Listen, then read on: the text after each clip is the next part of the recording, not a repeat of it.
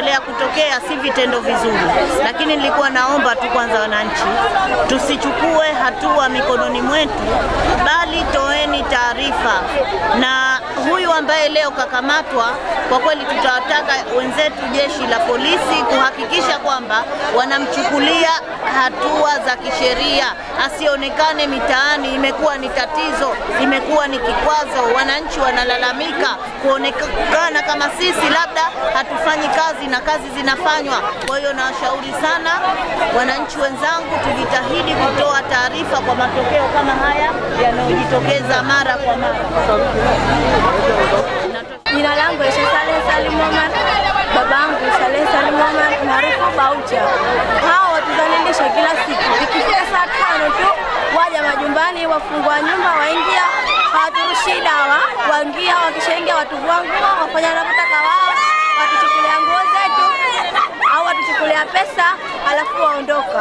Hawatupigi, twashukuru, lakini kwa kupiga na sasa tunaambia na kuku ilikuwa tukauza na tunalelewa sana kila siku tunalelewa udhalilishaji. Kwa hiyo watusaidie, kwa hiyo watu wache tumpige au wakamfunge tumuone.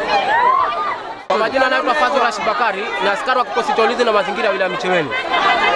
Muna mo kama dakika tano nyuma hivi nimefuatwa nikaambiwa kuna yule kijana leo kutoka polisi kaiba kuku.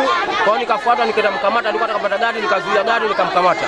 Baada ya kumkamata nikampigia simu sheha, sheha akampigia afisa polisi akanambia nimzuie yupo.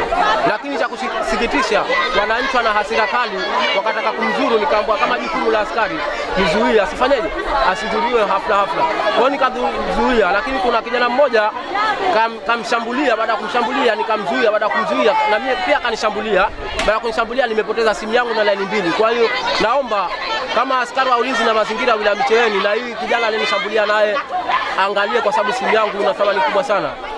Kwa jina naitwa Bijini Hamadi katari maarufu naitwa Mijini Kidishi. Juzi walikuja kwangu usiku, wakanivunjia mlango, akinambia ukipiga kelele nitakuua. Nikimwambia niua, itakuwa muda wangu ushafika. Tukipiga kelele ndo watu wanji wakija, akitaka nichania tu